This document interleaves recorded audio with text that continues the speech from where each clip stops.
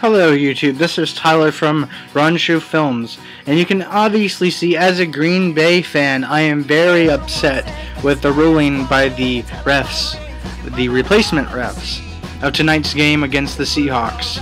And after that Hail Mary throw, it seemed like Tate got the touchdown. Yeah, right. If you can see that it's quite clear that Green Bay has their hands on the ball.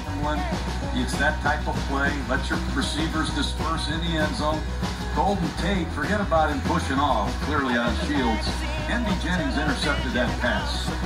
And game over, Green Bay wins. I give Golden Tate credit in a pile of bodies, scrambling until the end. There's the push off. There's the interception by Jennings. He's got the ball in his chest. Um, Right? There's not much to say. It looks like Jennings had control for us. Let me bring in Jerry Austin. You've been watching this on Monday nights. Jerry Austin, 27 years, an official in the NFL, referee for two Super Bowls. Take us through what you see on this play. Uh, well, as, as John said, on a jump ball, you pretty much just let everything go, and who comes down with it. Now, Jennings has the ball. He comes to the ground, brings it to his chest. He's established possession, established control, then possession. He's on the ground with the ball. All Tate has is his arm in there on the ball. So it's going to belong to the player that has the ball at, at the end of the play. And So, you probably think I am butt mad. Yes, I am very butt mad. I'm very angry about this call.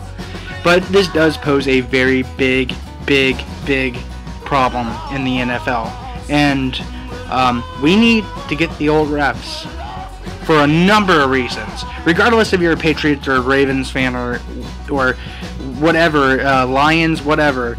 Um, we need the old refs. We need the replacement refs, and we need them now more than ever. Uh, the ref union, I don't know what they want. Give them it because you're slowly making the NFL into a mockery. I understand uh, the Seahawks uh, fans are going to be extremely happy about this, but if you look at it, you can clearly see it's an interception. I'd be admitting to it if it wasn't. But this just poses a big problem in the NFL, and that's we need the fucking refs.